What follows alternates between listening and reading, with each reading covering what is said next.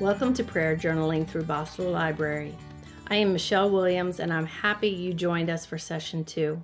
This session is titled Separating Wants and Needs. In the previous session, we talked about strength and weakness. We reviewed different types of prayer and heard some stories to help us understand how God can use our weakness to reveal strength.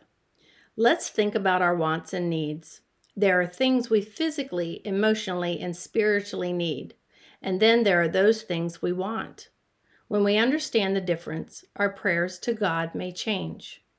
One of the Ten Commandments that comes to mind when we think about our wants and needs is Thou shalt not covet thy neighbor.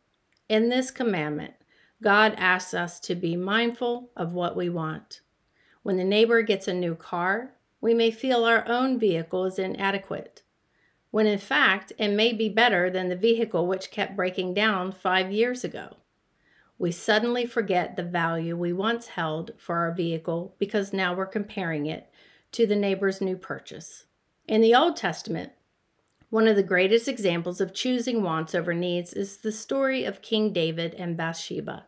In 2 Samuel chapter 11, we read the story of King David, who was hanging around his palace one day and from his rooftop spotted a woman who was bathing at a nearby home.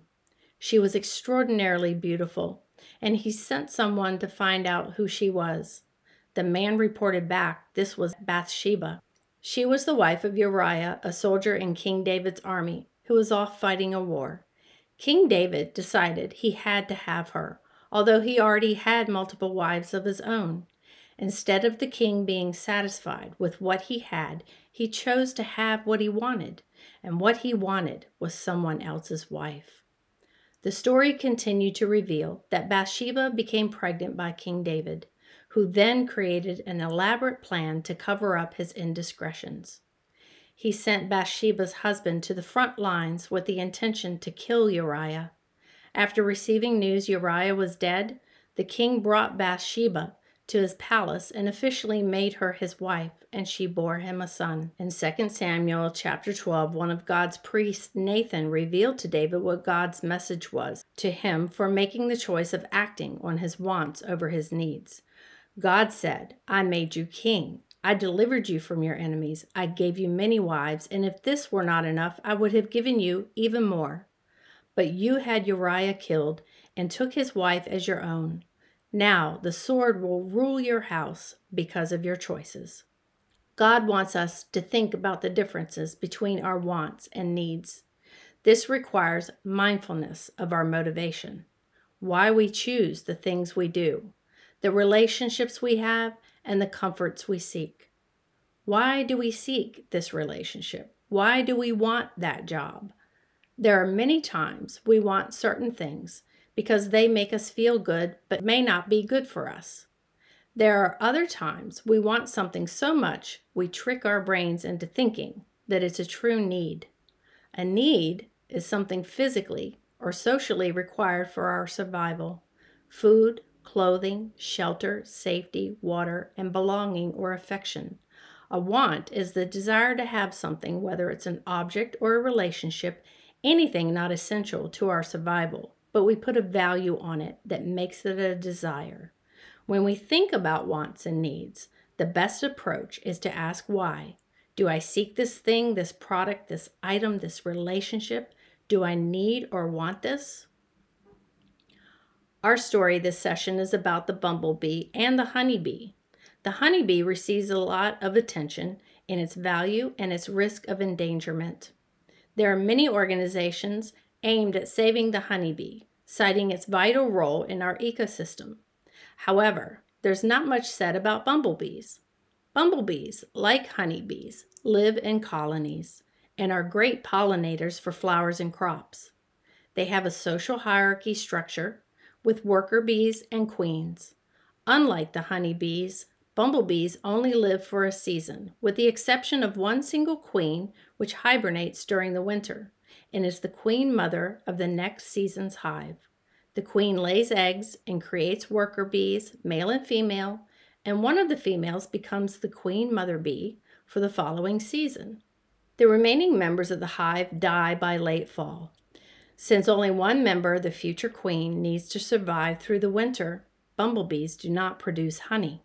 One of the reasons we may not hear much about saving the bumblebee is because the bumblebee only provides a need for the human species. It pollinates and is more efficient at pollinating than many other insects due to its fuzzy body and its use of vibration to fly. The honeybee, however, receives much more attention. Why? Consider this. The honeybee fulfills the need of pollination, but it also gives us something we want honey, a huge industry to provide people with a natural sweetener produced solely by the honeybees. The bumblebee produces nothing we want and only gives us something we need. Are we more selfish to focus on the honeybee rather than the bumblebee when it comes to conservation and preservation? Maybe. It's something to think about. The focus may be the want more so than the need. When you ponder your own wants and needs, remember the bumblebee. In its one life cycle existence, providing pollination for our crops and flowers, fulfilling a need, the same as the honeybee. God has a plan to provide us with care and cover our needs. God is also willing to hear the desires of our hearts, which we will talk about in session three. Like any caring and giving parent, God would love for his children to be happy with what he already provides. In this session, Journal about what God has already done to meet your needs. Make a list or write a story of a time when God revealed himself through meeting your needs. Finally, write a prayer of thanks to God for those needs already met. Think about how you live, how you are fed, and things you encounter during the day that add value to your life. This could be comforts in your home, a healthy and happy relationship, a job that provides financial stability for you and your family. Journal about these things to let God know you understand He is already providing for you. In session three, we will talk about our wish list. This is different than wants, which is desiring something attainable. A wish is the desires of our heart. We may feel like they're unattainable, God may reveal otherwise. We're happy you joined us for prayer journaling through Bosler Library. I hope you continue to find value in these lessons and are seeing a more open relationship with God. I also hope you see God working in you, around you, to help you become the person He created you to be.